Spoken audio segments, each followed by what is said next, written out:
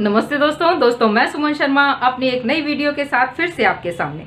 दोस्तों, इसमें मैंने मोटी हरी मिर्च का अचार बनाने की विधि बताई है और ये अचार बनता भी बहुत टेस्टी है और खाने में भी बहुत अच्छा लगता है। उम्मीद है मेरी इस वीडियो से आपको कुछ सीखने को मिलेगा और पसंद आएगी। पसंद आने पर लाइक का बटन प्रेस करें शेयर करें और मेरा चैनल सब्सक्राइब करें। धन्यवाद। नमस्ते दोस्तों। दोस्तों, आज हम बनाने जा रहे हैं मोटी हरी मिर्च का अचार। ये मोटी हरी मिर्च का अचार बहुत टेस्टी बनता है और खाने में भी बहुत अच्छा लगता है। और ना ही ज़्यादा ये तीखी होती हैं, फीकी हुई होती हैं और इन्हें तीखापन लाने के लिए थोड़ा सा हम इनमें लाल मिर्च डालते हैं। सर्दियों में ये बहुत अच्छी क्वालिटी की आती हैं तो हमें ज़रूर लाकर इन्हें ज़्यादा सा अचार डाल करके पूरे साल भर यूज़ करना चाहिए। ऐसी ही लाल मिर्च भी आती हैं, उसका भी मैं बाद में दिखाऊँगी। तो आप इन हरी मिर्च का अचार कैसे डालेंगे, इसके लिए कौन कौन से मसाले डालेंगे, सबसे पहले तो हम इसमें लेंगे ये सौंप। ये मैंने 11 हरी मिर्च 10 या 11 हरी मिर्च ली हैं। बहुत थोड़ी कम मात्रा में ली हैं। बाद में हम चाहें तो ज़्यादा डाल सकते हैं और उसकी क्वांटिटी को हम बढ़ा सकते हैं, मसाले वगैरह ज़्यादा करके। वो भी मैं बाद में दिखाऊँगी। अच्छा तो आप ये सबसे पहले इन 10 हरी मिर्च के हिसाब से जो मसाले डालने हैं, वो हैं, ये सौंप लिया है मैंने। सौंप ली है वन टेबल स्पून ये मोटी सौंप है। इसको इसमें डाल देते हैं और इसमें डालेंगे हाफ़ टेबल स्पून राई। सौंप डालने के बाद हाफ़ टेबल स्पून राई। और इसमें हम अमचूर पाउडर भी डालेंगे। अमचूर पाउडर डालेंगे हम इसमें half tablespoon half tablespoon इसी में डाल देती हूँ सारे मसाले, फिर पीस लेंगे। और इसमें डालेंगे हम हल्दी पाउडर। हल्दी हल्दी पाउडर डालेंगे हम इसमें तीन टीस्पून। तीन टीस्पून डाला। अब डाल देते हैं इसमें लाल मिर्च पाउडर। लाल मिर्च पाउडर इसलिए डाल रही हूँ मैं क्योंकि ये बहुत फीकी होती हैं और थोड़ा सा तीखापन इनमें आ जाए तो बहुत टेस्टी लगती हैं।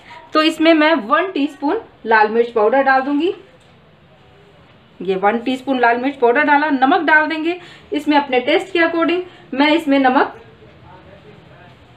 टू टीस्पून डाल रही हूँ। बाद में चेक कर देख लेंगे मसाले में, कम लगा तो और डाल लेंगे। और इसमें हम थोड़ा सा सिरका बाद में डालेंगे जब हम इसमें ये हरी मिर्च में मसाले भरेंगे। पहले हम ये सारे मसाले पीस लेते हैं मिक्सी के जार में डाल करके। मसाले को पीस लेने के बाद अब हम इसे अलग बर्तन में डाल देंगे। आप चाहें तो इसे थोड़ा मोटा भी पीस सकते हैं, ये मेरे से थोड़ा बारीक हो गया है। और अब हम बारीक भी अच्छा ही रहता है, लेकिन थोड़ा मोटा ज़्यादा अच्छा लगता है। अब इसमें हम डालेंगे इतना तेल जितना कि आटा गूंदते समय पानी डालते हैं। उसी हिसाब से इस मसाले को मिला लेंगे। तेल में मसाला मिला लेने के बाद इसमें हम डालेंगे हाफ़ टी स्पून सिरका। ये सिरका वन टीस्पून हो गया है, इसे अलग बर्तन में कर लेते हैं। और ये बस थोड़ा सा इतना सा सिरका मैंने लिया है इसमें डालने के लिए। इससे क्या होता है, हाफ़ टी स्पून से भी हाफ़ टी स्पून डाला है मैंने इसमें। और इसके डालने से हरी मिर्च, लाल या हरी, कोई सा भी अचार डालो सालों साल चलता है अचार कभी ख़राब नहीं होता। और थोड़ी सी खट्टापन भी आता है हरी मिर्च में। तो इस ज़्यादा अगर सिरका यूज़ कर रहे हैं तो वो बेकार रहता है, लेकिन थोड़ी मात्रा में अगर हम अचार को सही रखने के लिए सिरका यूज़ करते हैं तो वो सही रहता है। तो थोड़ा सा हमने सिरका डाला है इसमें। ये हाफ़ से भी हाफ़ टी स्पून तिहाई भाग। तो अब हम इन्हें, इन हरी मिर्च के ये डंठल हटा करके, ऐसे काट करके, और फिर इन हरी मिर्च को ऊपर से एक साइड से ऐसे काटेंगे। ऐसे। नीचे से ये जुड़ी रहेंगी। ऊपर से हम काटेंगे और फिर हम इनमें मसाले भर लेंगे। अच्छी तरह से भर सकते हैं मसाले आप। ऐसे। सभी हरी मिर्च को ऐसे भर देंगे। पहले सारे डंठल काट लेते हैं और फिर डंठल काट लेने के बाद सारी हरी मिर्च को ऐसे ऊपर से एक साइड से काट करके इनमें ऐसे ही मसाले भरते जाएँगे। ऐसे। सारियों को ही हम ऐसे भर लेंगे। मसाले का हमने नमक, मिर्च चख लिया है। अगर सही है, तभी भरना है। नहीं तो अगर कम लगे तो आप इस टाइम पे मसाले डाल सकते हैं, नमक या मिर्च।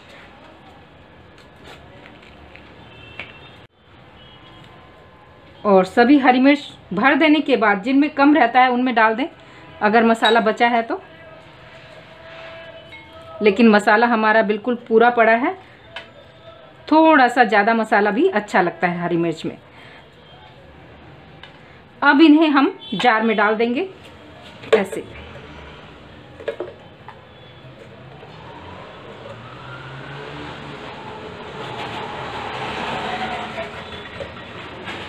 पहले थोड़ा ही डाल करके देखें, अगर आपका टेस्टी और अच्छा बनता है तो फिर ज़्यादा अचार डालें।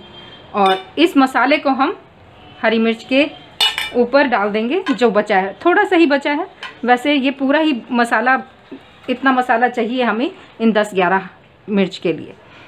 और अब हम इन्हें, इसमें तेल वगैरह भी कुछ नहीं डालेंगे। पहले हम इसे तीन दिन बंद करके जार को और धूप में रख देंगे। हरी मिर्च के अचार को तीन दिन हो गए हैं धूप में रखे हुए। और ये देखिए, थोड़ा सा पानी सा आ गया है। ये जो नमक का होता है, ये पानी सा आ जाता है। और इसके बाद, तीन दिन बाद, अब हम इसे ऐसे हिला देंगे। हिला देने के बाद अब हम इसे क्या करेंगे? थोड़ी सी ये हरी मिर्च जो है, ये गल चुकी है। तीन दिन में मसाले के साथ ये गल चुकी है और अब हम इसमें तीन दिन के बाद इसमें तेल डाल देंगे। और तेल इतना डालेंगे कि जो इन मसाले में और हरी मिर्च में अच्छी तरह से मिल जाए, हद से ज़्यादा तेल नहीं डालेंगे। बस इतना ही डालेंगे जो कि इनमें अच्छी तरह से मिल जाए। ये देखिए, तेल नज़र आ रहा है, बस इतना ही तेल डालना है इसमें, ज़्यादा मात्रा में तेल नहीं डालना है। और अब हम इसे धूप में फिर से रख देंगे ताकि ये तेल पक कर हरी मिर्च और मसाले के टेस्ट को बढ़ा दे। तो दो दिन बाद फिर चेक करते हैं हम इसे। सरसों का कच्चा तेल डाल देने के बाद दो दिन तक हमने इन्हें धूप में रखा है। ताकि ये तेल पक कर इन मसाले और हरी मिर्च का टेस्ट बढ़ा दे।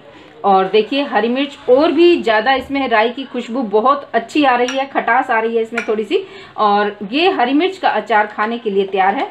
तो इस तरह से आप ज़्यादा मात्रा में भी इस अचार को बनाएँ और कितने भी समय तक रख सकते हैं इसे बना करके एक बार में, ये ख़राब नहीं होगा। तो दोस्तों, इसे आप इस तरह से बनाकर रोटी परोठे पूरी किसी के साथ भी खाएँ, चावल किसी के साथ भी खाएँ और स्वस्थ रहें।